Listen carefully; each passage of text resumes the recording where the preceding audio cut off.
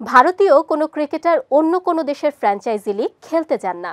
কিন্তু ঠিক কী কারণে বিবিএল বিপিএল সিপিএল এর মতো লিগে ভারতের ক্রিকেটাররা খেলেন না, সেটি জানার কৌতূহল অনেকেরই।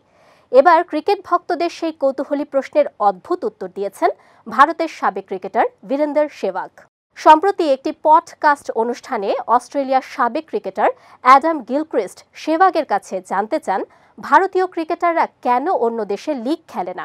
জবাবে সেবাগ বলেন, আমাদের প্রয়োজন নেই। আমরা বড়লোক অন্যান্য লিগ খেলতে আমাদের গরিব দেশে যাওয়ার দরকার নেই। পডকাস্ট অনুষ্ঠানে সেবাগ জানিয়েছেন, বিদেশে এক মাস থেকে ক্রিকেট লিগ খেলতে যদি অন্তত দশ লাখ ডলার দেয়া হতো, তাহলে তিনি রাজি হতেন। তিনি বলেন, অন্য দেশে এক মাস থেকে বিগ ব্যাশ বা দ্য হান্ড্রেড খেলতেই পারি। তার জন্য আমাকে মাত্র এক বা দুই লাখ ডলার দেবে। এটা হতে পারে না। এত কম টাকায় খেলতে যাওয়ার প্রশ্নই আসে না। সেবাগ জানান, তিনি নিজেই বিগ ব্যাশ থেকে এক লাখ ডলারের প্রস্তাব নাকচ করে দিয়েছেন। এ প্রসঙ্গে সেবাগ বলেন, আমার মনে আছে, যখন দল থেকে বাদ পড়েছিলাম, তখন বিগ ব্যাশ লিগ খেলার প্রস্তাব পেয়েছিলাম। আমি তাদের বলেছিলাম, তোমরা আমাকে কত টাকা দেবে? তারা এক লাখ ডলার দেবে বলেছিল।